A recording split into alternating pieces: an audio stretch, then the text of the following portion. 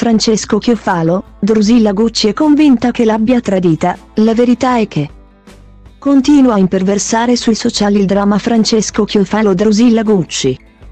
Nelle ultime settimane la coppia, dopo la crisi confermata dall'ex protagonista di Temptation Island, non ha fatto altro che mandarsi messaggi su Instagram.